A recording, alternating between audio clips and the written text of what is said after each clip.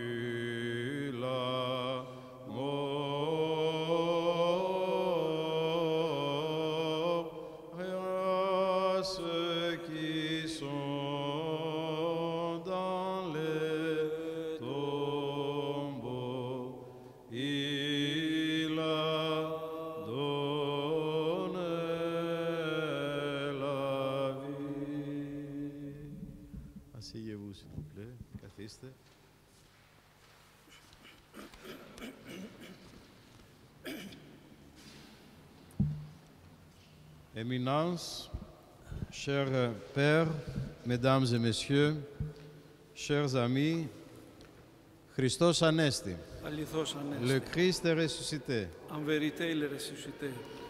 C'est un véritable plaisir de vous accueillir ce soir pour cette euh, nouvelle euh, séance du cycle de conférences, pourtant sur un sujet d'autant plus d'actualité que les effets de la pandémie se font encore sentir.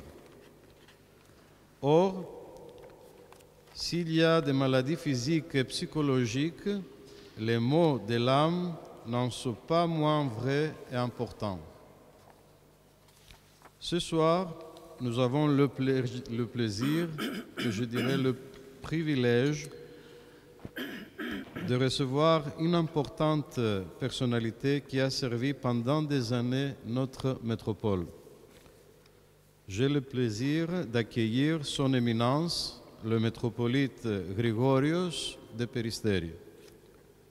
Cher Monseigneur, je pense que c'est la première fois que nous vous recevons ici depuis votre élection par le Saint-Synode de l'Église de Grèce en octobre de l'année dernière. Aussi, permettez-moi de vous féliciter et de vous souhaiter bon courage. Il y a tant à dire à propos du métropolite de Péristeri. Né à Namata de Kozani, il a étudié le droit et la théologie à l'université Aristote de Thessalonique et le droit canonique et les sciences religieuses à Paris, études du troisième cycle, doctorat et post-doctorat. En plus de ses fonctions ecclésiastiques, il est professeur à l'Institut orthodoxe Saint-Serge à Paris et à l'Université de Paris 13. Depuis 2009, il est professeur de droit canonique à l'École théologique d'Athènes et a également travaillé comme professeur à l'Université de Talent et à l'Université de Tartu en Estonie. Pendant les 25 années où il a vécu à l'étranger, il a enseigné dans 20 universités sur trois continents, Europe, Asie et Afrique. Il a énormément écrit, tant dans des livres que dans des articles scientifiques. Ces livres sur le droit canonique ont été traduits en plus de 15 langues. Ce soir, Son Éminence nous entretiendra du sujet suivant, l'Église comme hôpital spirituel, la confession des péchés dans l'Église orthodoxe. Cher Monseigneur, nous avons hâte de vous entendre ce soir, Bonne conférence à toutes et à tous et merci de votre présence ce soir. La parole est à vous. Merci beaucoup, Monseigneur. Christ est ressuscité.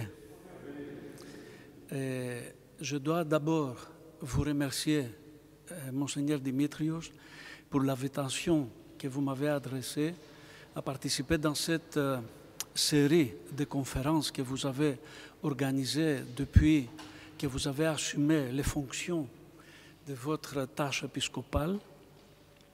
Et je me réjouis parce que je me trouve dans un endroit où moi aussi, comme vous venez de le dire, j'ai servi ma diaconie euh, pastorale, ma diaconie presbytérale, et je suis ému pour cela. Et donc, je vous remercie pour cette invitation. donc, vous avez déjà entendu les sujets qu'on va euh, examiner aujourd'hui ensemble. Euh, c'est un sujet qui est difficile à traiter, étant donné que euh, ça touche plusieurs aspects de la vie humaine en même temps que de la vie ecclésiale.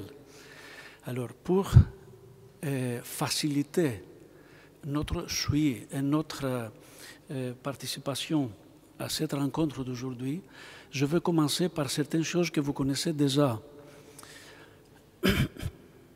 Alors, euh, vous connaissez tous qu'il y a une tradition ininterrompue qui commence depuis Adam et Ève, c'est-à-dire à partir de la création du monde, qui arrive jusqu'à aujourd'hui, et que cela a été enregistré par ce qu'on appelle, tous les chrétiens, la Bible.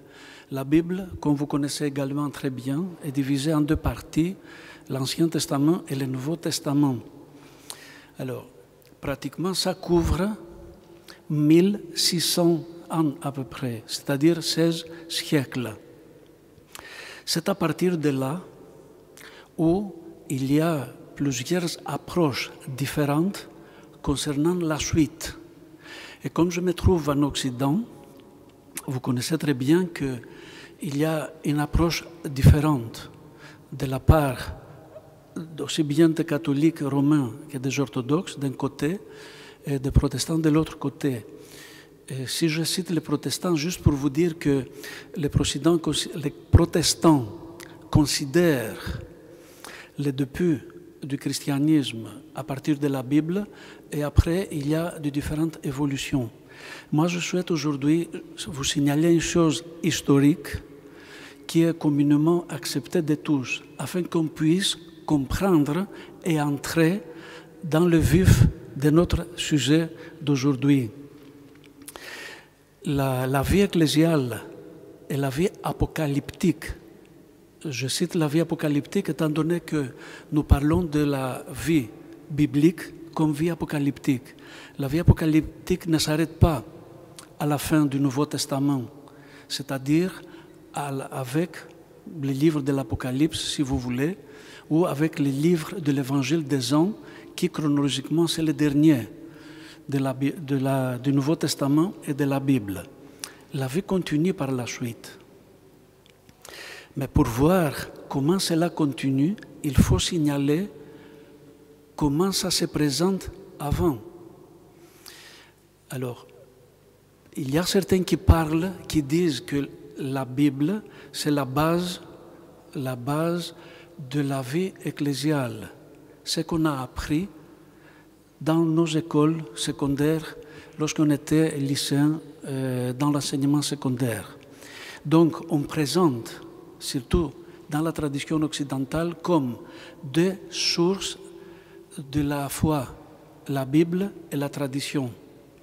Aujourd'hui, je reviens pour, pour, si vous voulez un peu, euh, vous changer un peu la vue de cette chose-là.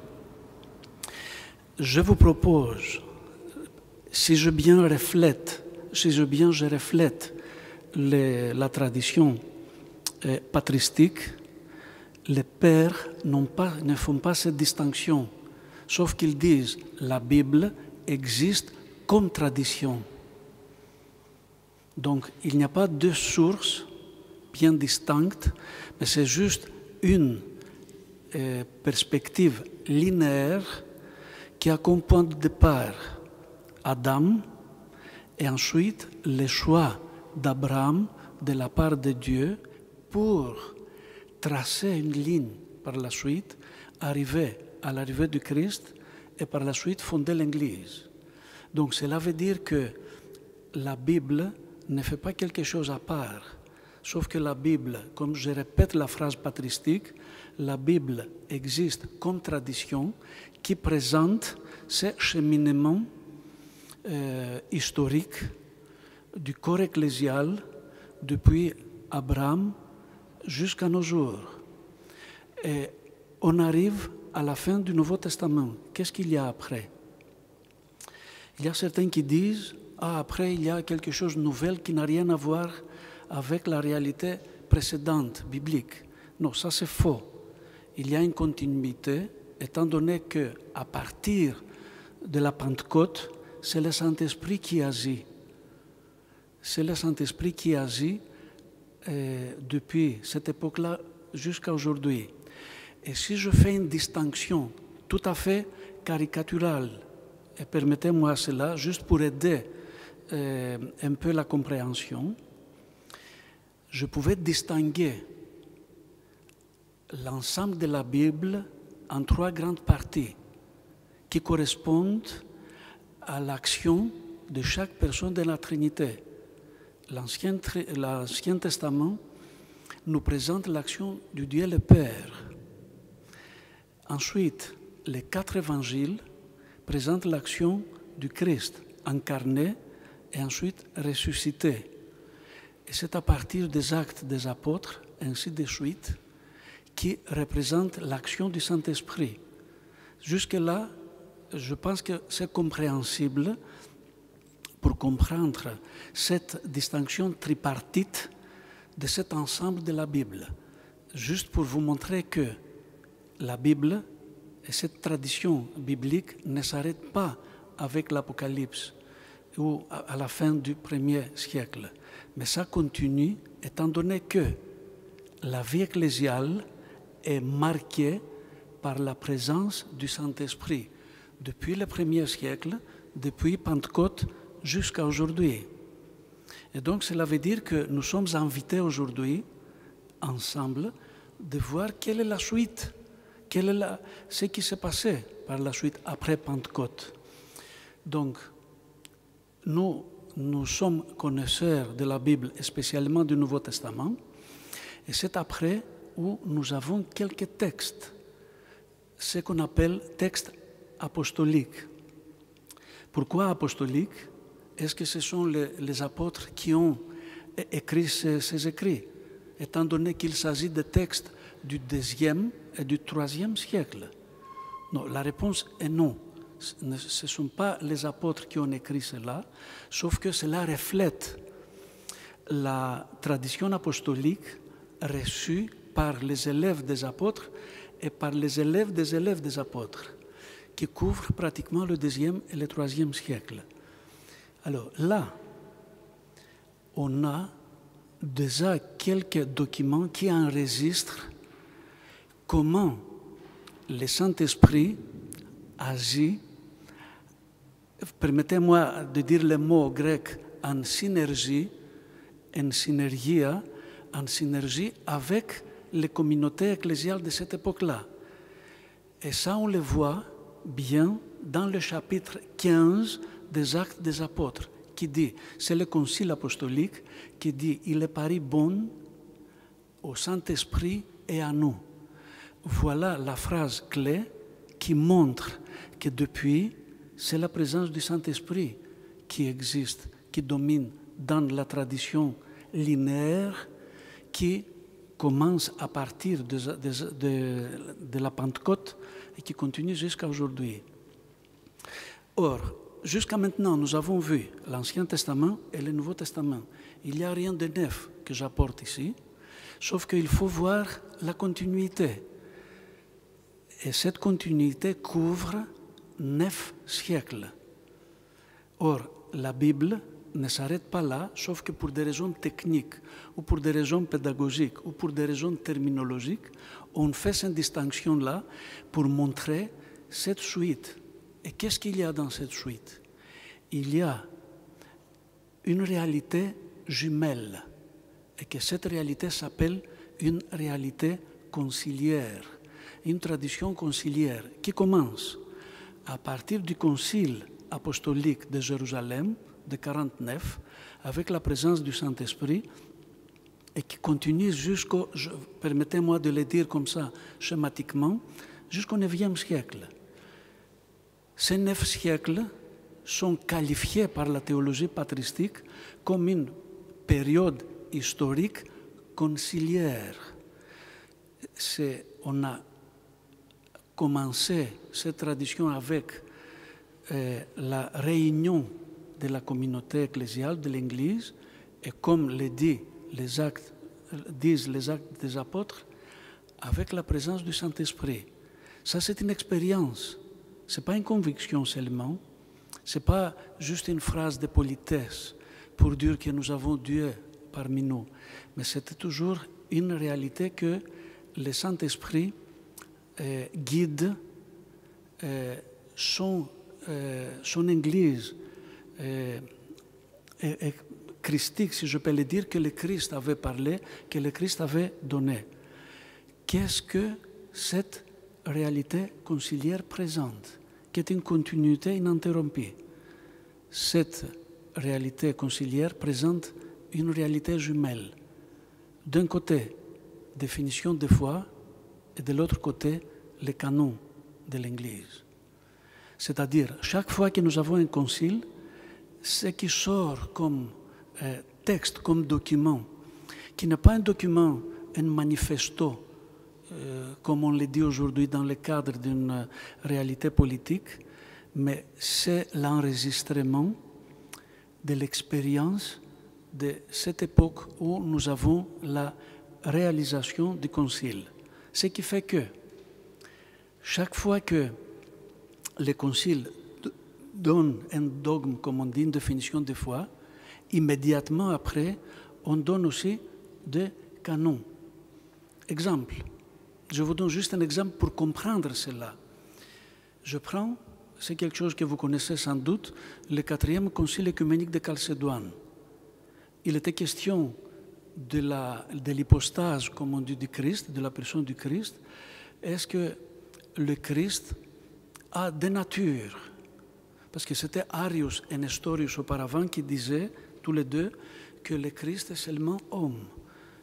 L'Église a répondu, le Christ ce n'est pas seulement homme, il est Dieu et homme. Après, il y avait certains qui ont dit, ce qu'on appelle les monophysites, qui ont dit, le Christ n'est jamais devenu homme, il est resté seulement Dieu. Et alors, c'est le quatrième concile œcuménique qui répond et qui dit, juste exemple, hein, euh, parce que je vois il y a de petits enfants aussi parmi nous pour, qu'ils comprennent aussi ce qu'on dit. C'est tout à fait simple.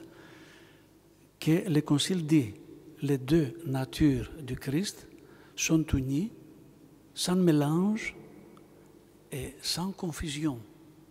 C'est ça le dogme de Chalcédoine. Une phrase incompréhensible. Si nous, les chrétiens, nous sortons dans la rue et on va dire aux gens qu'on trouve, vous savez, que les deux natures du Christ sont unies, sans mélange, sans confusion, il faut nous dire, c'est ça, vous êtes des fous. ils vont nous considérer comme des gens dérangés.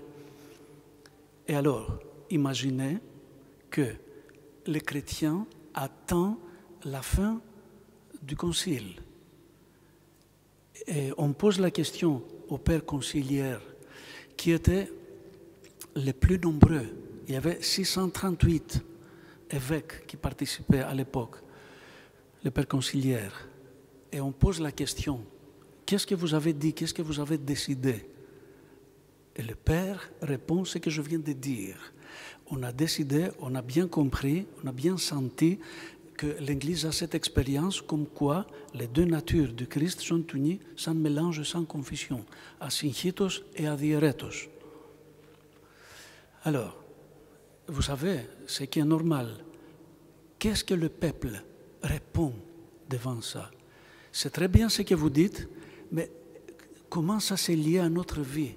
Est-ce que ce que vous venez de dire, c'est lié à notre vie, pour que ça nous guide dans notre euh, cheminement historique qui continue depuis Abraham jusqu'à aujourd'hui. Et la réponse du Concile écuménique de Chalcédoine dit prenez 30 canons et vous marchez, vous réalisez votre cheminement de foi avec, comme aide, comme feu, comme on dit au feu rouge, comme au feu vert. C'est comme, comme, ça, c'est ce qu'on dit en italien et en grec, sémaphore. Donc ça va vous guider. Donc ce qui veut dire, pour arriver et pour entrer au vif du sujet, après cette introduction, le titre de ma conférence aujourd'hui porte la confession ou la pénitence selon les canons. Donc, si je, je viens de dire et faire cette euh, petite introduction, c'était juste pour vous montrer quelle est la place des canons au sein de l'Église. C'est la continuité de la Bible, mais en liaison avec les dogmes. Je répète, ça c'est très important et je suis conscient en disant ça parce que je me trouve en Occident. Pour quelle raison? Parce qu'une fois qu'on a divisé la théologie d'un esprit juridique qui a commencé à dominer à partir de la théologie scolastique du XIIe siècle en Occident, on a dit que ça, ce sont deux choses bien distinctes et bien différentes. Non, pas du tout. C'est juste, il faut euh, euh, se rendre, il faut, euh, comment s'appelle, avoir une conscience que ces deux réalités qui se présentent bien distinctes, c'est une réalité commune en deux façades. Et donc, pour lire les canons et pour comprendre les canons, il faut connaître les dogmes ou les définitions de foi correspondantes de la même époque. Parce que les canons ont une, caractéristique contextuelle qui est liée aux définitions de foi. Alors, pour conclure ce que je viens de dire, il faut garder dans votre esprit Ancien Testament, Nouveau Testament et dogmes et canons comme continuité pour arriver jusqu'au IXe siècle. Cela couvre pratiquement 24-25 siècles. Donc la Bible, euh, ou la réalité de la Bible, ce que la Bible présente ne s'arrête pas, je répète pour une troisième fois, avec l'Apocalypse ou à la fin du premier siècle, mais ça continue jusqu'au IXe siècle. Alors, une fois qu'on a vu cela, nous, nous allons voir maintenant qu'est-ce que les canons nous disent les canons ne sont pas des textes juridiques comme malheureusement aussi bien les catholiques romains que les orthodoxes, sous une influence catholique, on les lit comme des textes juridiques. C'est-à-dire, on dit couramment, ça on a entendu plusieurs fois, même dans les écoles, non seulement dans les facultés de théologie catholique ou orthodoxe, comme quoi, qu'est-ce que c'est le canon? Et réponse, comme l'État a des lois, l'Église a aussi ses lois propres qui s'appellent canons. Donc dans notre esprit, immédiatement, on comprend qu'il s'agit, qu'il s'agit de loi. Et loi signifie obéir. Loi signifie appliquer la loi. Sauf que le canon ne signifie pas là, ne signifie pas ça.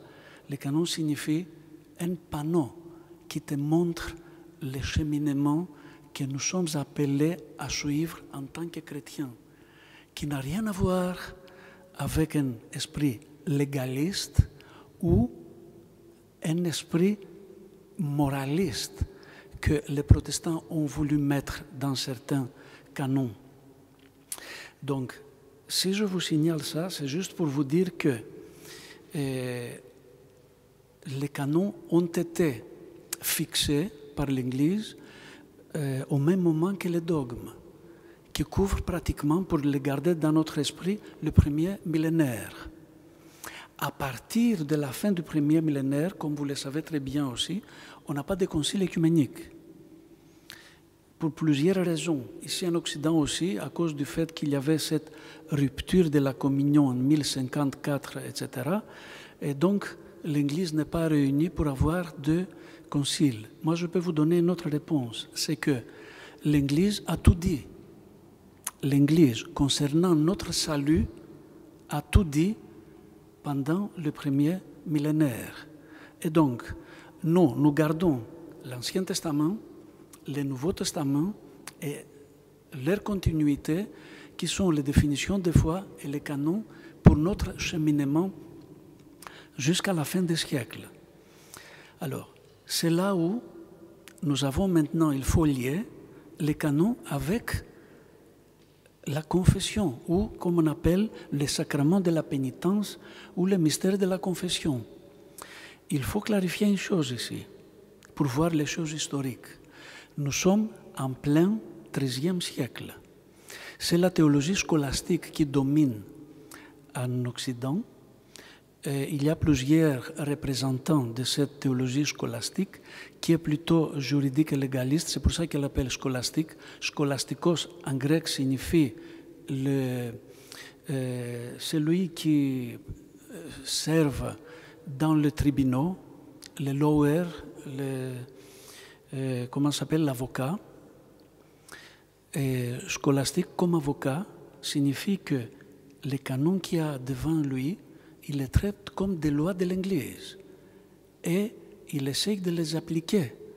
Et appliquer signifie garder à la lettre ce que le canon dit. Alors, nous avons les représentants de cette époque scolastique ici en Occident, qui est bien saint Thomas d'Aquin, qui a vécu pendant le XIIIe siècle et il, était, euh, il a décédé, monseigneur, en allant au concile de Lyon en 1274. C'est le premier concile, si je peux le dire comme ça, unioniste, juste après la prise de Constantinople en 1204. Donc ce sont les orientaux et les occidentaux qui se retrouvent pour discuter encore sur des questions. Et c'était saint Thomas d'Aquin qui est parti venir à ce concile, sauf qu'il est décédé en allant euh, vers Lyon. Qu'est-ce que saint Thomas d'Aquin lit, euh, écrit dans son livre? Il a écrit un travail, il a écrit plusieurs, mais il a, écrit ce qu'on appelle Contra errores grecorum, contre les erreurs des Grecs.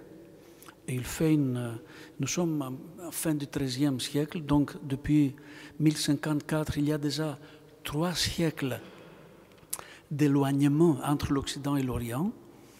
Et saint Thomas d'Aquin fait une liste où il exprime une liste des erreurs qui font les orientaux, c'est-à-dire les orthodoxes. Et qu'est-ce qu'il dit? Il cite quelques numéros, je ne sais pas le numéro 17, qui dit les orientaux ne se confessent pas. Donc nous avons déjà un témoignage du XIIIe siècle comme quoi les orthodoxes n'ont pas de confession, il n'y a pas le sacrement de la pénitence, c'est les orthodoxes, et donc il y a deux erreurs, parce qu'on constate qu'il y a, il y a une, une absence d'un sacrement. Alors, là, je m'arrête, j'ouvre une petite parenthèse pour vous dire que vous connaissez tous qu'au sein de l'Église, nous avons sept sacrements. Ça, c'est une conception de la théologie scolastique du, Moyen Âge. Les pères n'ont jamais euh, distingué de sacrements au sein de l'Église. Les pères disent, du premier millénaire, notamment les pères cappadociens, et les Saint Jean Damascène au 8e siècle, etc., qui disent que il n'y a qu'un seul mystère, un seul sacrement, c'est le sacrement de l'Église. C'est l'Église qui est le sacrement et on n'a pas d'autre.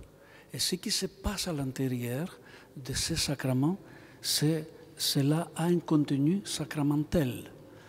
Donc, si il y a cette distinction, c'est juste pour vous dire que l'absence de ces sacrements de la pénitence que saint Thomas d'Aquin constate dans son livre Contra errores Grecorum ne, ne correspond pas vraiment à ce qu'on a vécu pendant les premiers millénaires, en conformité avec les canons. En conformité avec les canons. Et qu'est-ce qu'il y a alors ici? Au même époque, si on parle encore des canons, les, les Occidentaux à l'époque, ils ont mis accent sur des canons nouveaux qu'on a promulgués juste après quatre conciles de Latran du Moyen Âge. Donc cela veut dire que cette époque-là, l'Église catholique romaine a continué à travailler sur la, sur la promulgation de nouveaux canons, sauf juste pour vous dire qu'on s'éloignait des canons du premier millénaire, c'est-à-dire ce que je viens d'évoquer, qui sont une réalité jumelle avec les définitions des fois, qu'on a commencé à créer de nouveau, avec un esprit cette fois juridique. Et là, on prévoit une confession systématique. C'est pour ça que saint Thomas d'Aquin, il dit, selon ce système du sacrement de la pénitence que nous, nous avons ici en Occident, les orientaux n'ont pas, pas. Et donc, il y a une absence de la pénitence et de la confession. Alors, juste après, nous avons la suite de Constantinople. Et comme vous savez très bien, il y a les différentes missions catholiques et protestantes qui arrivent en Orient. Je vous donne une petite information intéressante, c'est que comme il n'y avait pas cette pratique de la confession, ce sont les prêtres catholiques, notamment les jésuites et d'autres compagnies euh, monastiques, qui pratiquent cette confession.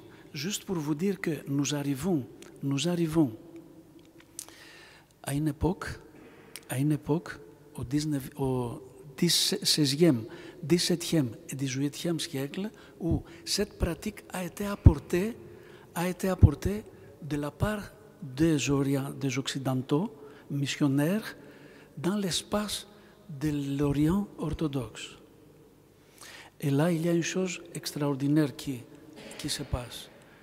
On constate bien, je parle, que, euh, je parle pour les prêtres orthodoxes, cette fois-ci, qui n'ont aucune expérience de ce qui vient de l'Occident.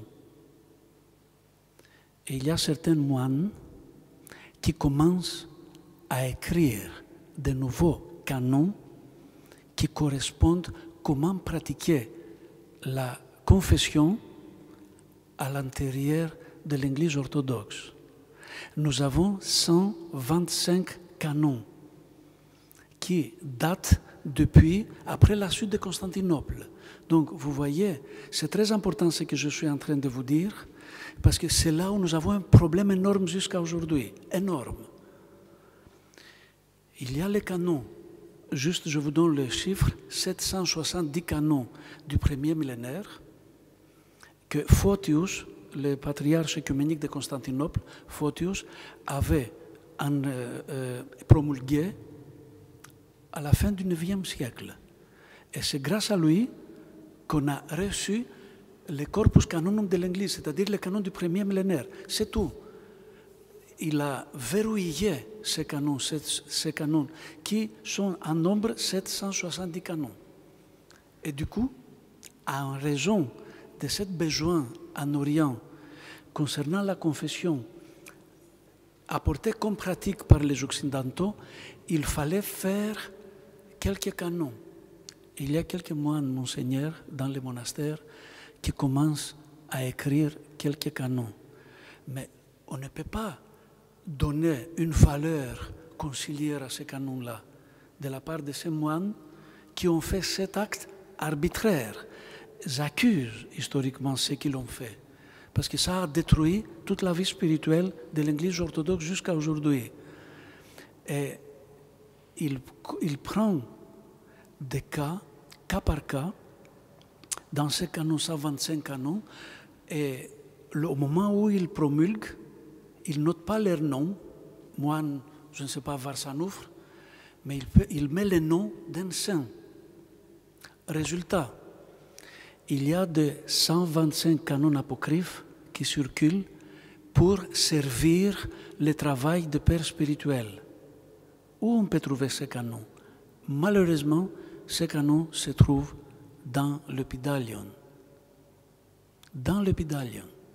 L'Épidalion de Saint Nicodème l'Aïjorite, qui a promulgué ces, euh, un livre, un seul volume, en 1800. Donc ça date depuis deux siècles et quelques, depuis euh, 220 euh, euh, années que ce pédalion circule qui pose un problème aujourd'hui. Si je vous cite cela, ce n'est pas pour accuser Pidalion, ni pour accuser Saint Nicodème Majorite. Le Saint Nicodème Majorite est un moine érudit. Et au moment où il a décidé de publier ce livre avec tous les canons et les commentaires, il a bien constaté que nous avons deux types de canons dedans. Les canons du premier millénaire, plus quelques canons qui disent n'importe quoi, qui infligent des sanctions euh, euh, terribles contre les fidèles, qui font un, un péché ou un autre, etc., mais avec un esprit légaliste. Et Saint Nicodème disait c'est pas possible. On ne peut pas avoir une cohérence entre ces corpus canonum, ces canons du premier millénaire, avec ces canons apocryphes, où il voyait qu'il y a deux choses qui les différencient. Le niveau de la langue, c'est une langue moche, je peux le dire en grec, et deuxièmement, il y a des éléments qui n'existaient pas dans le canon du premier millénaire. Et qu'est-ce qu'il a fait? Il ne pouvait pas euh, supprimer ces canons parce qu'il portait des... Euh, comme par exemple Saint Jean le Génère, Ioannis Onisteftis, 35 canons. Saint Jean le Génère vit pendant le premier millénaire. Mais Photius nous informe que ce, saint de l'Église n'a jamais écrit de canons. Et du coup, on trouve 35 canons. Et ce sont les canons qui posent un grand problème dans notre travail de la vie spirituelle au sein de l'Église orthodoxe. Qu'est-ce qu'il qu a fait? Il, n'a pas mis au début, il n'a pas mis ce, canon apocryphe, il l'a jeté dehors.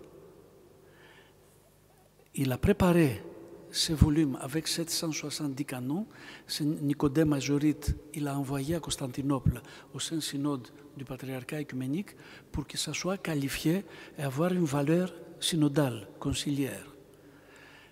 Qu'est-ce qu'on a fait à cette époque-là à Constantinople? Juste avant 1800, on a donné à un archimandrite pour vérifier, qui était érudit, pour vérifier qu'est-ce que c'est corps, est-ce que c'est bien, etc.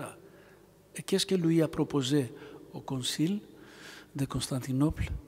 Il a dit, non, il y a des canons, des fameux canons qui manquent. Donc Nicodème, le moine Nicodème, a fait un bon travail, sauf qu'il faut ajouter ces canons aussi. Ça est revenu au Montatos et on a ajouté également les canons qu'on ne pouvait pas éviter. Mais de quelle façon Regardez, Saint Nicodème, il était intelligent, il a fait une chose extraordinaire. C'est pour ça que je vous dis, j'accuse pas l'épidalion, j'accuse ceux qui ne comprennent pas ce que Saint Nicodème a fait. Comme il voyait que ce sont des de canons terribles, il a publié un annexe. Vous avez reçu mon document que le Père Ambroise vous a distribué. Vous allez trouver à la fin de ma, de conférence, vous allez trouver cette liste qui se trouve à la fin de Pidalion. Toutes les publications, 18 éditions que nous avons pendant ces deux siècles, portent ces canons qui n'ont rien à voir avec l'esprit du canon du premier millénaire. Et alors, regardez l'accident, un accident qui dure encore jusqu'à aujourd'hui deux siècles, deux siècles, depuis qu'Épidalion a été adopté par l'Église orthodoxe officiellement, pardon. On a cinq traductions du Pidalion. Nous avons en roumain, en russe, nous avons en arabe, nous avons en anglais et nous avons aussi une autre partie en français. Nous sommes en plein, comme on dit, ottomanocratie. Ce sont les Ottomans qui dominent. Il n'y a pas, de, il n'y a pas de, des écoles théologiques, il n'y a rien. Et tous les pères spirituels, évêques, igumènes, prêtres spirituels, reçoivent l'épidalion. Mais regardez un petit détail. Les canons du premier millénaire ont un langage assez cultivé qui, représente l'époque des pères cappadociens qui utilisaient la langue attique, la langue, c'est-à-dire la langue de l'Antiquité grecque, alors que ces 125 canons sont d'une époque où les Grecs n'étaient pas terribles. C'était un grec courant, un grec pauvre, mais un grec qui touchait des cas et des problèmes spirituels d'une façon totalement antithéologique, anticanonique et tout ce que vous voulez. Alors, les pères, les prêtres, les igumènes de cette époque-là de l'ottomanocratie, ils prenaient l'épidalion, ils commençaient depuis le début à lire, ils n'arrivaient pas à lire. À un moment donné, quelqu'un a dit, écoutez, vous ne comprenez pas ce qui est au début, mais c'est très facile à lire ce qui est à la fin. Et que surtout cela concerne la confession de foi. Vous pouvez imaginer le résultat. La confession souffre au sein de l'Église orthodoxe depuis deux siècles et demi maintenant, à cause de ce fait. Pour quelle raison? Je ne vais pas entrer, je ne vais pas entrer dans euh, le texte. Vous allez recevoir le texte, vous, allez, vous avez déjà le texte et vous pouvez lire les détails. Je vous donne juste l'esprit, quel est l'accident et quel est le problème. C'est que en essayant d'imiter ce qu'on a dit au début, que les canons sont les lois de l'Église, on a donné un esprit juridique dans ces 125 canons apocryphes. Et si un chrétien se présente devant le Père spirituel, et le Père spirituel, à cause de l'ignorance de ces petits détails que je viens vous dire, euh, agit en consultant seulement ces canons et il oublie les autres, on fait entrer un légalisme, un moralisme dans notre rapport avec, si je permettez-moi la phrase, avec le, le fils spirituel ou la fille spirituelle, et que ça pose des problèmes.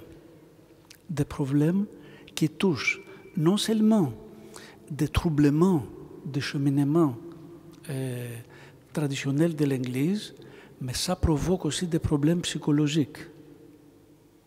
Parce qu'il y a des sortes de dépendances personnelles qui ne sont pas euh, tout à fait cohérents avec ce que les canons du premier millénaire montrent.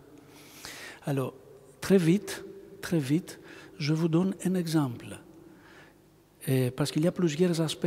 Parce que là, aujourd'hui, je suis plutôt là et je fais cette euh, conférence ici pour vous montrer quel est le problème qui existe à travers les siècles et quel est l'accident que l'Église orthodoxe a subi à cause du fait qu'on a imité les catholiques, les missionnaires catholiques disaient il faut avoir la confession.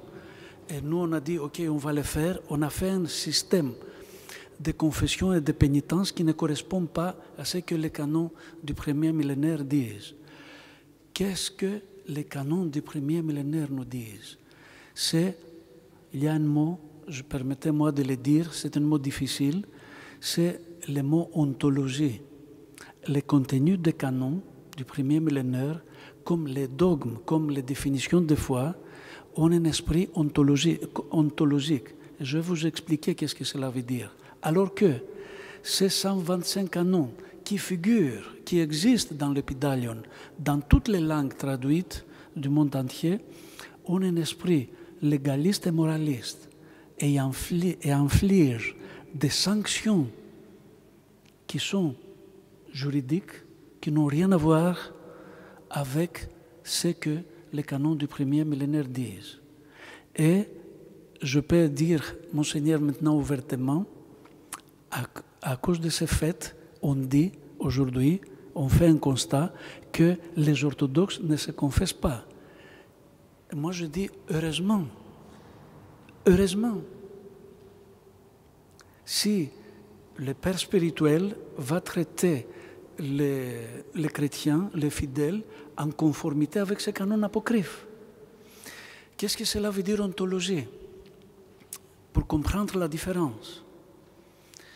Ontologie signifie le mot euh, du grec, vous vous souvenez, lorsque Moïse a posé la question à, Dieu, toi tu t'appelles comment? Quel est ton nom?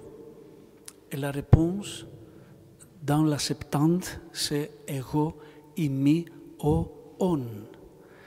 Moi, je suis celui qui est, le temps. Donc, de ces mots, on, génitif en grec, ondos, c'est le mot ontologie, c'est-à-dire que c'est notre Dieu trinitaire qui est la source de notre vie. Et donc, une chose ontologique signifie qui est liée à la vie trinitaire. Donc, de la façon comme la vie trinitaire vit, c'est de cette façon-là que la définition de foi et les canons nous montrent. C'est pour ça donc, si les canons, ce sont des panneaux pour montrer le cheminement de notre vie spirituelle, c'est juste que ce cheminement est invité à avoir une caractéristique ontologique qui est très loin du légalisme ou du moralisme ou du psychologisme, psychologisme ou tout ce que vous voulez. Alors, je donne un exemple dans le texte que je vous ai donné. C'est juste, je l'ai, comme vous allez la voir, c'est à la page 10, si vous avez devant vous, très vite, très vite, un exemple, et pardonnez-moi pour cette simplicité.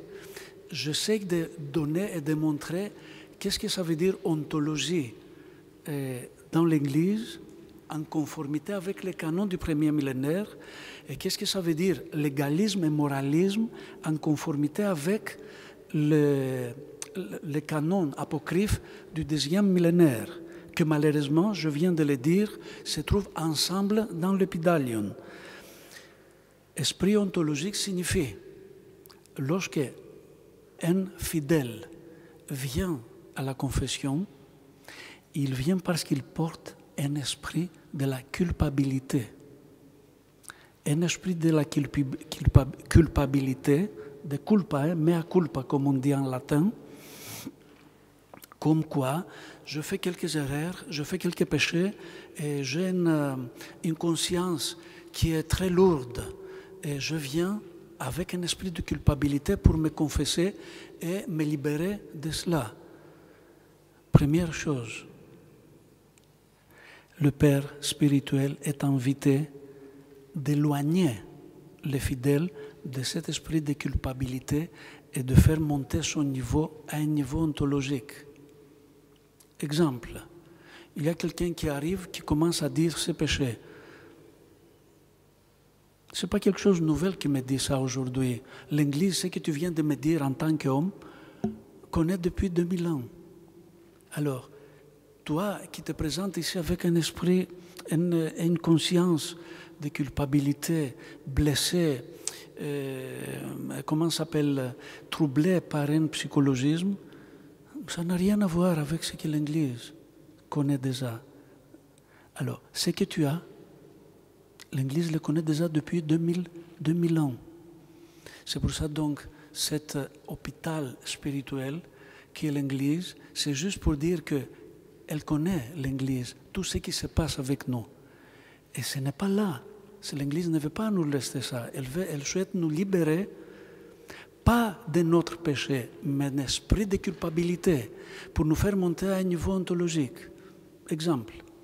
C'est l'exemple que vous avez à la page avec trois déviations la déviation de l'athéisme, la déviation de l'hypocrisie la déviation psychologique. Quel est l'exemple que je vous donne ici? Supposons que, hier ou avant-hier, c'était euh, vendredi saint. comme vous savez très bien, vendredi saint, euh, on ne mange rien, ou on ne mange pas d'huile, rien du tout, juste euh, quelques petits trucs pour que ce jour-là soit qualifié par notre vénération vis-à-vis de la mort du Christ. Et surtout pour souligner que notre Dieu est mort et qui se trouve dans l'enfer. C'est pour ça que c'est le seul jour où l'Église ne célèbre pas la divine liturgie. Pour quelle raison? Parce que l'Église ne veut pas nous donner le corps mort de notre Dieu, mais l'Église souhaite nous donner le corps vivant et le corps résurrectionnel du Christ. Donc, c'est pour ça que ce jour-là a une exception extraordinaire. Et je prends un exemple simple pour vous dire que je viens devant vous me confesser. Et qu'est-ce que je vous dis? Vous savez, j'étais tenté hier, ou c'était vendredi saint, ou avant-hier, et j'ai ouvert euh, le frigo parce que j'avais faim et je mangeais du fromage ou je mangeais de la viande.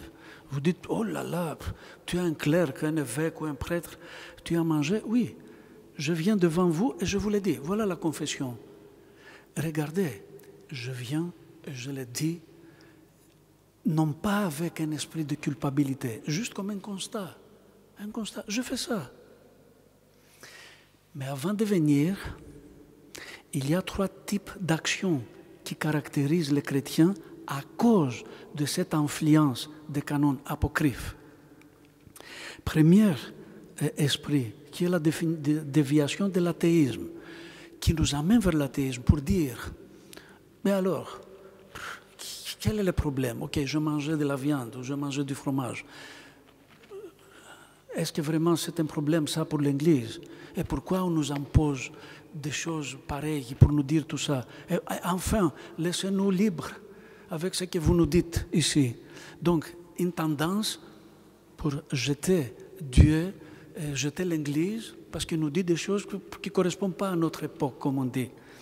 Deuxième déviation, de l'hypocrisie c'est qu'on constate avec euh, cette euh, parabole du Christ, avec les pharisiens et les publicains qui se présentent devant Dieu, les pharisiens, qui, qui a de mains pleines, qui dit à Dieu, tu, vois, moi je, ne fais que de bonnes choses devant toi.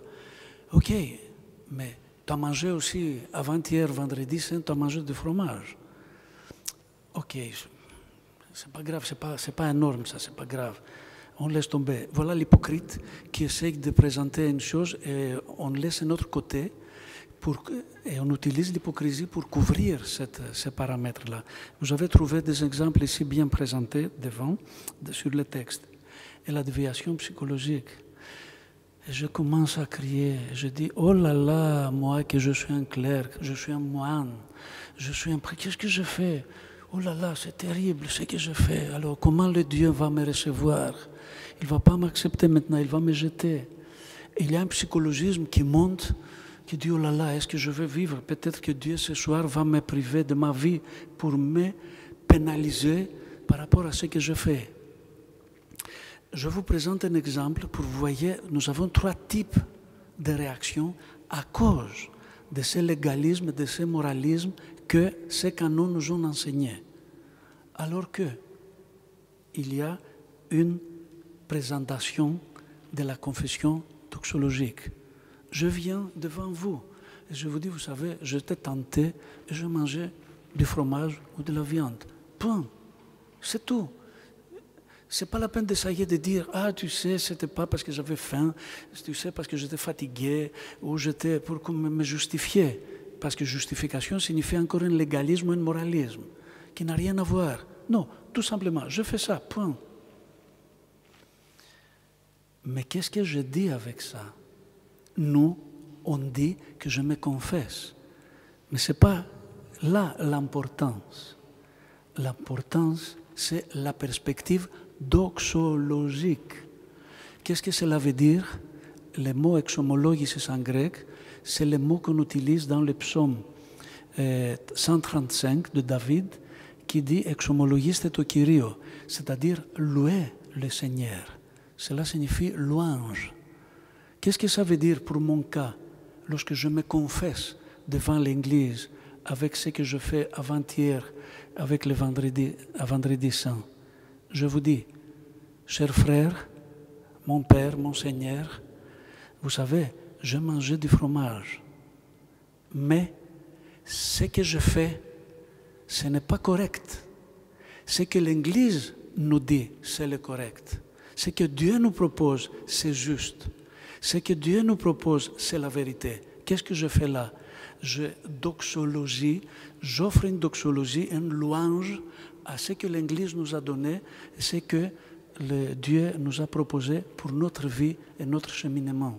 Vous voyez, qu'est-ce que ça veut dire? Une confession doxologique.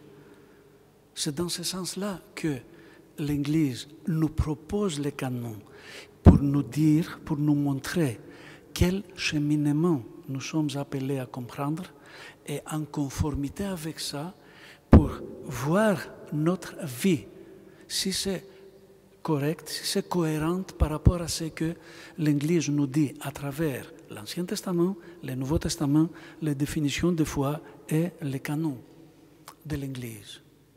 J'espère que c'est compréhensible ce que j'essayais de vous donner, étant donné que nous avons des difficultés aujourd'hui dans l'espace de la spiritualité orthodoxe ou chrétienne d'une façon plus générale, étant donné que ce que l'Église orthodoxe souffre, nous avons exactement la même chose au sein de l'Église catholique aussi.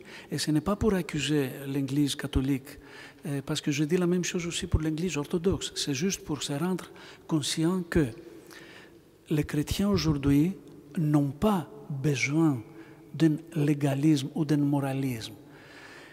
À partir d'Adam et d'Ève, lorsque notre grand, grand, grand-père, Adam, a dit à notre grande, grande, grande-mère, Ève, que tu sais, c'est toi qui es responsable pour notre nouvelle situation de la suite. Et cette situation communionnelle vis-à-vis de Dieu.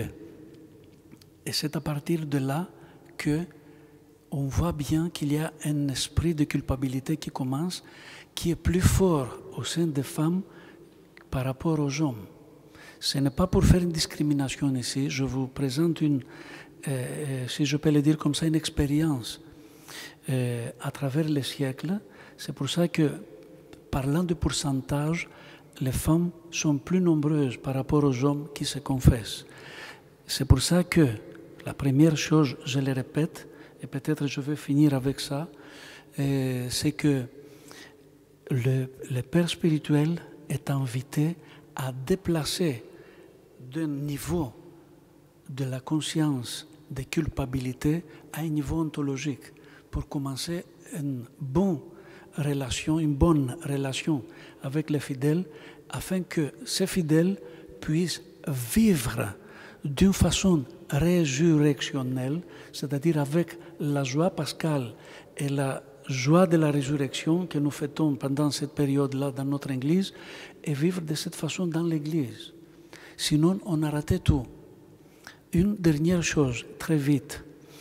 en étudiant ici en Occident, Monseigneur, j'ai appris à la faculté de droit canonique que j'ai étudié qu'une chose qui euh, m'a beaucoup frappé, on me disait que vous, les orthodoxes, vous avez un esprit de l'économie, euh, alors que nous, nous gardons l'acribie. Il y a cette dialectique de l'acribie et de l'économie. D'un côté, l'acribie, c'est-à-dire l'application des canons à la lettre, et il y a un esprit de l'économie à côté qui se présentait comme une trahison de l'esprit euh, de l'acribie ecclésiale. Alors,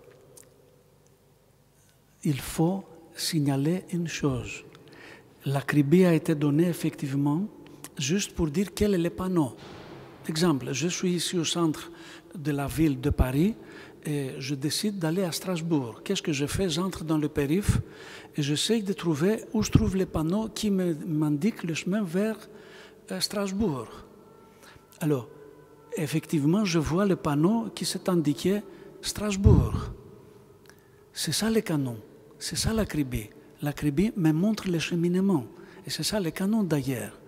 Alors moi je dis, puisque le panneau le dit, moi je, continue le périph, je vais sortir à la prochaine sortie ou deux, trois sorties après.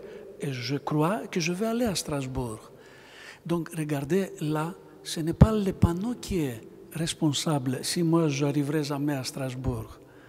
C'est parce que moi je n'ai pas adopté, voilà le terme adoption sur le texte que je vous donne, et pas du tout l'application du terme qui est un terme juridique. Tout le monde parle de l'application des canons. Non. On n'a pas une application du canon, on n'a pas une application de la Bible au sein de l'Église. Nous avons, nous avons une adoption, c'est-à-dire le Nouveau Testament, la Bible et les canons nous montrent le chemin comme les panneaux l'indiquent, et après nous, nous avons la liberté de les suivre ou de ne pas les suivre. Donc ça veut dire que les canons ne touchent pas la liberté personnelle de chacun. Donc ce n'est pas une obligation. Il faut s'éloigner de cet esprit de, de l'obligation et donc de la notion de l'acribie comme loi au sein de l'Église. Mais l'acribie, le panneau existe pour nous montrer le cheminement. Et ensuite, nous avons l'économie. Économie signifie que je m'adapte en tant que père spirituel ou en tant qu'Église, si vous voulez, je m'adapte dans les cas de chaque personne. C'est pour ça que nous avons plusieurs pastorales personnelles. La pastoralité personnelle correspond à ce que l'Église appelle l'économie, c'est-à-dire économiser. C'est un verbe qui n'existe pas en français, je l'ai créé. Économiser l'affaire signifie chaque personne qui est unique dans le monde entier a quelques particularités qu'on ne voit pas aux autres. Donc je ne peux pas appliquer les canons d'une façon générale. C'est pour ça que la confession ne, peut pas se, se, réaliser devant la télé. Parce que je pouvais me présenter devant la télé, je prends un document et je commence à dire il faut faire ça, il faut faire ça, il faut faire ça, il faut faire ça. Les canons n'utilisent jamais le verbe il faut ou le verbe devoir, parce que ça c'est lié à l'esprit juridique. C'est la loi qui le dit. Nous avons un sens unique devant nous. Donc ça veut dire que la voiture arrive de ce côté-là. Si moi je prends ma voiture et je veux un sens inverse comme on dit, au moment où la loi dit il faut respecter le sens unique. Moi je ne le respecte pas. Et donc, je fais, je fais un sens inverse, et c'est la police qui arrive, évidemment, elle a raison, elle me met dans la prison. Donc, elle me pénalise. Ce n'est pas du tout ça l'esprit des canons. C'est pour ça donc qu'il y a cette dialectique entre l'acribie et l'économie pour faciliter notre vie à la participation dans la vie ecclésiale. Voilà tout ce que je pouvais vous dire en développant un peu ces documents que je vous ai donnés. Et comme je vous ai promis depuis le début, je ne vais pas garder pour les lire. Je vous juste, euh, je vous le donne. Comme ça, vous pouvez lire. Et comme ça, vous pouvez avoir des idées euh, supplémentaires. Voilà, merci beaucoup pour votre attention. J'espère que ce n'était pas du tout, euh, j'étais pas, peut-être pas du tout, mais je n'étais pas fatigant. Euh, parce qu'il y a des choses nouvelles. Et s'il y a des questions à poser ou s'il y a quelque chose, un aspect où il faut le clarifier.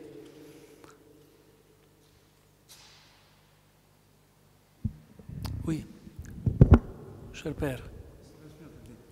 Euh, bénissez. Il y a une particularité dans l'usage des églises de tradition euh, slave que vous connaissez, et j'ai en feuilletant votre, votre euh, document, j'ai vu que vous en parliez à la fin.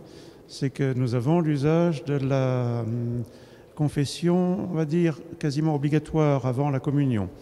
Et moi-même, en tant que, prêtre, je me trouve souvent bien embêté parce que je manque de temps pour euh, entendre correctement les fidèles et je ne peux pas faire ce que j'aimerais et ce que je souhaiterais faire, des entretiens spirituels prolongés pour échanger avec les fidèles, pour pouvoir les aider et les réconcilier avec Dieu. Donc, euh, j'ai par exemple uniquement dans une, des deux paroisses que je desserre la possibilité d'entendre les confessions pendant la lecture des heures, voilà, juste avant la liturgie. Et j'ai donc 30 minutes au maximum pour entendre peut-être 50, 60 personnes, ce qui signifie quelques secondes par personne. Donc c'est totalement ridicule. Et la confession, je le pense, est voilà, en grande partie inefficace. Néanmoins, les fidèles ne s'approcheront pas du calice s'ils ne sont pas venus se confesser. Donc c'est un peu un imbroglio. Ne plus, euh, je ne peux pas refuser, parce que si je refusais la confession, les fidèles le prendraient très mal, et de toute façon, ils ne viendraient pas communier. Donc, comment séparer les fidèles du Christ si effectivement ils ne viennent pas communier? C'est une grosse responsabilité. Et en même temps, j'ai l'impression d'être un distributeur automatique de sacrements, euh, ce qui est tout à fait euh, consternant et euh, c'est une, pour moi, je me sens empêché d'exercer le, ministère en quelque sorte. Tout à fait. C'est-à-dire si vous avez, alors sans critiquer effectivement mon Église, c'est pas une critique que je fais effectivement, mais malheureusement c'est un usage peut-être qui mérite une, évolution. Mhm. Donc merci beaucoup Père pour votre euh, question qui est tout à fait d'actualité. Alors, qui, constitue un dérapage. Ce n'est pas uniquement l'existence des canons apocryphes qui est un dérapage, c'est à cause de ces canons apocryphes qu'on a créé des choses inimaginables. Exemple, aujourd'hui, dans l'esprit des chrétiens orthodoxes, c'est toujours pour communier, il faut gêner, il faut se confesser. Donc ça veut dire que le gêne et la confession sont devenus deux conditions bureaucratiques préalables pour avoir un accès à la communion. Et donc c'est pour ça que les gens ont subi une chose terrible, on s'éloigne de la communion, alors que la divine liturgie invite les gens pour communier. Pourquoi cela se passe?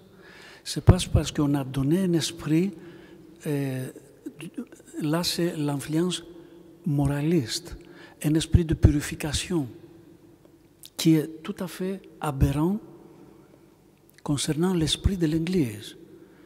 Comme vous savez très bien, parce que vous célébrez aussi bien la divine liturgie de Saint Basile et de Saint Jean Chrysostome, on dit juste avant la communion que nous, on n'est pas digne pour communier, mais grâce à ton amour grâce à ce que tu as fait pour nous avec l'incarnation et la résurrection, tu nous acceptes à la communion. On le dit déjà. Sauf que les fidèles ne suivent pas cela. Ils ont créé un autre esprit qui effectivement nous provoque ce phénomène-là qui est tout à fait euh, aberrant de tout point de vue. Exemple, la confession, ce que je propose, la confession s'arrête avant le vêpres de samedi après-midi. Et ça recommence après le vêpres de dimanche après-midi. Pour quelle raison? Parce que le dimanche, c'est un jour christologique, un jour, un jour dominical, comme on dit, c'est-à-dire consacré au Christ. On ne fait rien d'autre que cela, y compris notre confession. Qu'est-ce que, quelle erreur nous faisons en ce moment-là? Moi, je me présente pendant les, heures, l'office des heures comme tu, tu viens d'évoquer, je dis, j'oublie, je mets à part ces jours dominicaux et je me concentre à mes péchés. Terrible.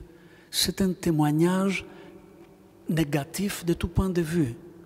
Si quelqu'un entre dans l'Église pour la première fois et regarde que nous nous sommes concentrés à notre ésotérisme, on a tout raté et on a perdu la perspective résurrectionnelle. C'est pour ça qu'il faut que ça s'arrête à tout prix. À tout prix. Il faut expliquer aux fidèles que ce n'est pas le moment. Et il y a un autre problème encore qui est encore pire, pire encore. C'est que au moment où on se présente devant les prêtres pour deux, trois minutes. Et on dit un, deux, trois, quatre choses, très vite. Et cet acte, cet événement, nous donne l'impression que maintenant, je suis digne pour communier. C'est la raison pour ne pas communier si je me présente devant la communion en tant que digne. Alors que les deux divines liturgies de Saint Basile et de Saint Chrysostome nous disent exactement le contraire. On déclare que nous ne sommes, pas dignes pour communier. Mais là, il faut la théologie canonique pour expliquer aux gens quelle est l'erreur et il faut, à mon avis, le corriger. S'il faut donner un témoignage christique et résurrectionnel devant notre humanité.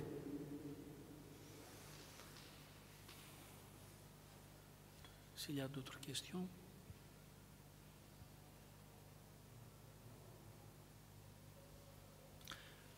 En tout cas, je vous, remercie beaucoup encore pour votre attention et je... Merci aussi, euh, on remercie euh, son éminence le métropolite de Péristérie, Monseigneur Grigorios, pour cette euh, homélie avec beaucoup de clarté et de praticité pour notre vie quotidienne en tant que chrétien. Nous remercions Monseigneur Dimitrios était, avait un autre rendez-vous, il n'a pas pu rester jusqu'à la fin, mais il vous remercie aussi de tout cœur. Voilà. Alors, merci beaucoup pour tous. Christ est ressuscité.